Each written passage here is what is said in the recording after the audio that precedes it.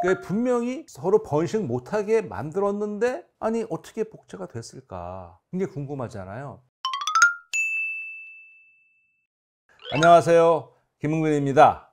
오늘은 영화 한 편을 감상하면서 한번 생물학 얘기를 해볼까요? 주라기 공원입니다. 다들 아시죠? 아, 이 영화가 처음 나왔을 때 야, 벌써 아 정확히 30년 됐네요.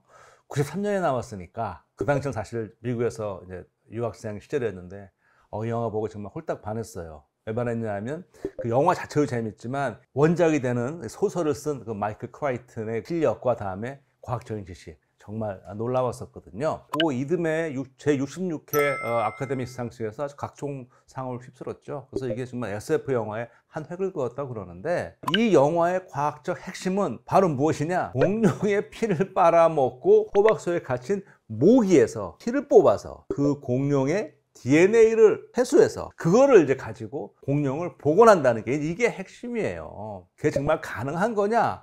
뭐 영화이니까 한번 가능하다고 보고 하면 어떻게 하는지 한번 살펴보도록 하겠습니다. 93년에 처음 영화 나왔을 때는요.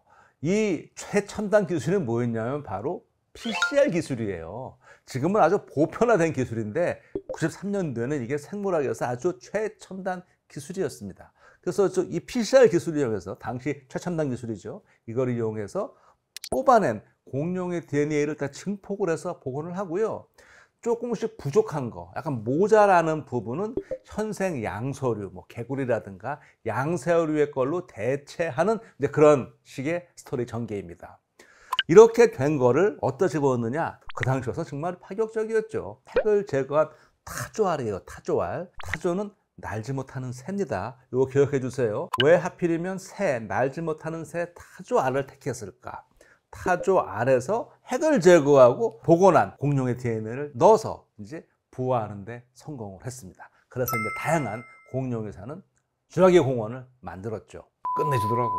그 영화를 보게 되면 유전자 변형 기술을 이용해서 오로지 암컷 공룡만을 복제했어요. 수컷은 없어요. 그 이유는 왜 그러냐? 공원에서 번식을 못하게. 그러니까 모든 그 공원에 있는 공룡들은 철저하게 연구소에서 통제할 수 있게 이렇게 만들어 설정이 나옵니다. 안전한 테마파크이자 공룡의 이제 복원한 공룡의 보호구다 하겠다는 이런 좋은 뜻으로 이제 시작이 됐어요. 근데 영화가 뭐 다 그렇지만 늘 이제 반전이 나오는 거죠. 이제 거기서 좀 이제 안 좋은 사람이 이것도 빼돌리려고 하면서 이제 안전장치를 풀어놓고 막 하면서 이제 문제가 발생합니다.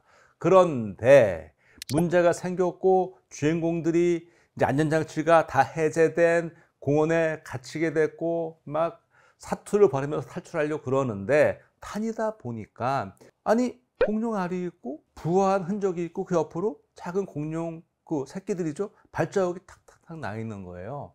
저는 그때 그 주인공이 혼자 되뇌인 말을 정말 가슴에 와닿았어요. 뭐라고 그랬냐면은 life finds a way. 생명은 길을 찾는다.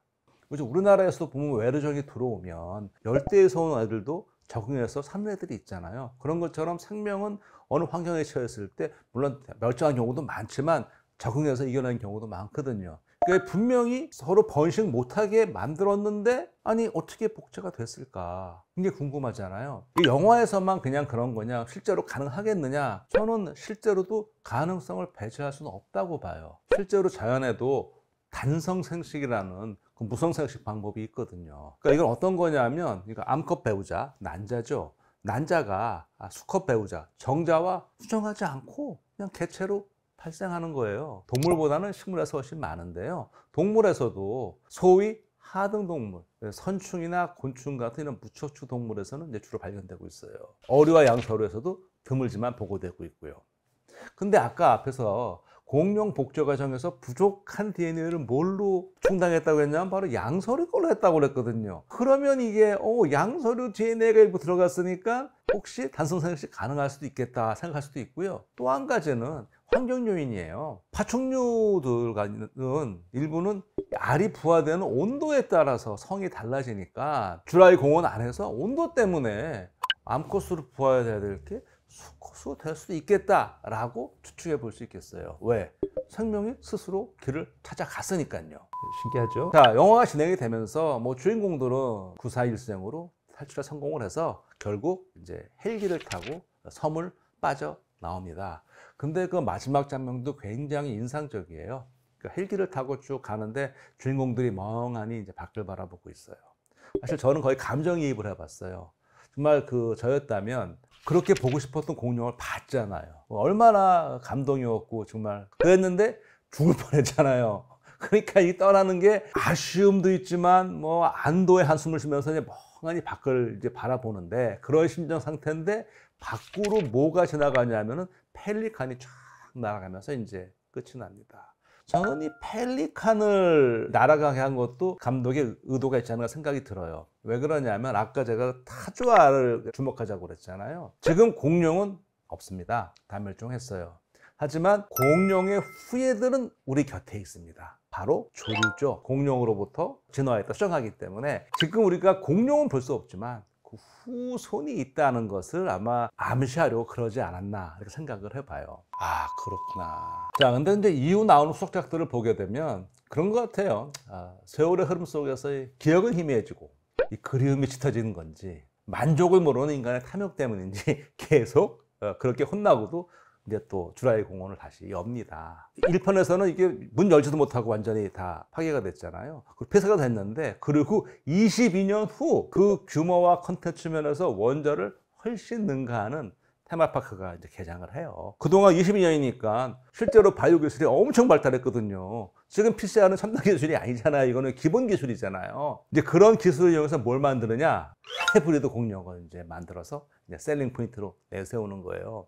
그래서 그 영화에서 보면은 그 연구진들은 아주 그냥 쇼킹한 공룡을 만들어갖고 쇼를 해가지고 이제 만드는데 티라노사우루스 렉스의 DNA를 바탕으로 그 랩터의 그 지능이 있는 유전자를 섞고 다음에 오징어의 위장술 유전자 섞고 청개구리의 열감지 유전자 섞고 과거에도 존재하지 않았고 당연히 영화 속에서 현재 현재 존재하지 않는 인도니미스 렉스라는 아주 어마무시한 어마어마한 공룡을 만들어냅니다. 티라노사우루스, 티라노는 그리스어로 폭군이라는 뜻이고요. 사우루스는 도마뱀이라는 뜻이에요.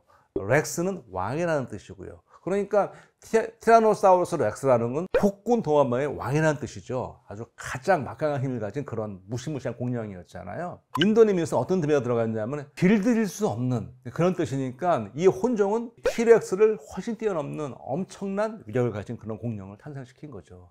이게 바로 2015년에 개봉한 주라기 월드에 등장했던 내용이에요. 결국 거기서도 당연히 끝은 파멸로 끝났죠. 아마 제 생각에는 그 영화를 통해서 생명과학이 이렇게 발달하고 있는데 과연 우리가 어느 선까지 해야 될지 경계가 어디일지 이걸 어떻게 활용해야 될지 아마 교훈적인 어, 메시지를 전달하려고 했던 것 같아요. 다시 한번 그 인간의 그 욕심과 탐욕으로 테마파크는 이제 망했고요. 거기는 남은 공룡들만의 낙원이라면 낙원이 되었어요. 아 그런데 그 섬이 화산 폭발 조짐이 보이는 거예요. 그러니까 이, 이 소식을 접한 그 연구원들, 전작의 주인공들이죠. 이 사람들이 공룡들이 너무 불쌍한 거죠. 공룡을 구하러 그 섬으로 달리러 가요. 그런데 이때 이 사람들이 구하러 가는데 역시나 또 악인들이 나와야죠. 이 돈의 눈이 먼 이 속물들이 또 이 구한 거를 탈취해서 활용하려고 이제 또 가게 됩니다. 두 세력이 맞서게 되죠. 이게 2018년에 개봉한 주라기 월드 폴른 킹덤의 핵심 내용이에요. 폴른 킹덤은 전편에 비해서 우화적인 형성이 훨씬 더 강한 것 같아요. 최첨단 기술을 앞세워서 멸종한 공룡조차도 부활시키는 이런 그 인간의 기술, 이런 시도가 번번이 실패하잖아요. 해놓고. 그 가장 큰 이유는 자연을 인간이 막 다룰 수 있는 전유물로 생각한 그 인간 중심주의가 그 기본에 깔려 있거든요. 그래서 아마 인간 중심주의에서 좀 깨어나라 라는 그런 경종을 울리지 않나 하는 생각이 들었어요. 그러다가 한편으로는 전공이 전공이다 보니까 위대한 미생물학자 루이 파스텔가 남긴 이런 말이 떠올랐어요. 세상에 순수과학이나 응용과학 따위는 존재하지 않는다. 오직 과학과 과학의 응용이 있을 뿐이다. 이게 19세기 후반에 남긴 말이거든요. 이 말 진짜 멋지지 않습니까? 왜 그런지 모르시겠어요? 그럼 제가 설명을 한번 드려볼게요. 앞서서 그 PCR 기술, 어, 영화 나올 당시에는 첨단이었는데 지금은 이제 본편 기술이 되었죠. 어떻게 시험관 안에서 우리가 DNA를 증폭할 수 있을까요? 세포에서 일어나는 현상을 우리가 모사하는 거고 흉내내는 거예요. 어떻게 흉내내느냐? DNA는 아시죠? 이중 나선이에요. 세포 안에서는 이게 복제가 되려면 두 가닥이 떨어져야 돼요. 이거를 분리해주는 효소가 있습니다. 분리가 된 다음에 그 다음에 합성하는 효소가 합성을 해요. 그 당시에 문제는 뭐였냐면은 DNA를 어떻게 분리하지? 시험관에서 DNA를 합성하려면 어떻게 해야죠? 먼저 DNA를 분리해야죠.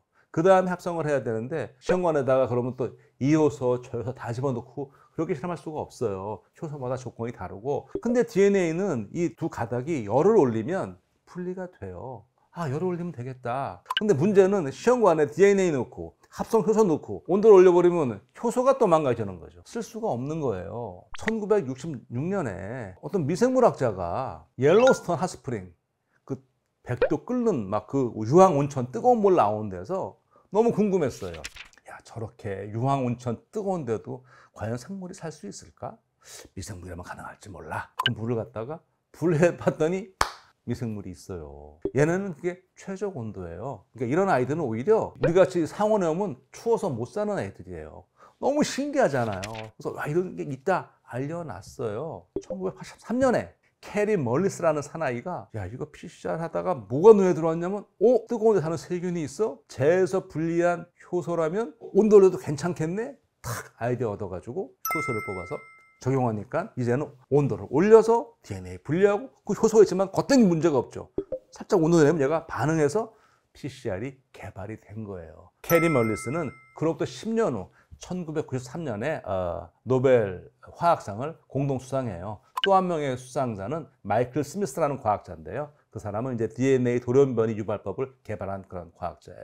파스텔의 말이 맞지 않습니까? 뜨거운 데 사는 옐로스톤의 핫스프링에 사는 그 온천에 사는 세균을 분리한 사람이 PCR을 개발을 하기 위해서 분리한 거 아니었잖아요. 궁금해서 했던 거예요. 과학의 출발은 궁금해서 아, 왜 이럴까? 이건 뭐지? 궁금해서 했던 거예요.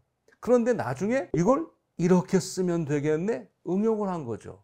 과학이 있고 과학의 응용이 있지 않습니까? 처음부터 어떤 목표를 가지고 개발하는 경우도 있어요. 하지만 이런 과학의 발전이라는 것은 그러니까 현재 지금 과학을 왜 하느냐라고 했을 때 저는 개인적으로 그렇게 생각합니다. 너 이거 뭐에 써먹을랜데? 이거 쓸모가 뭔데?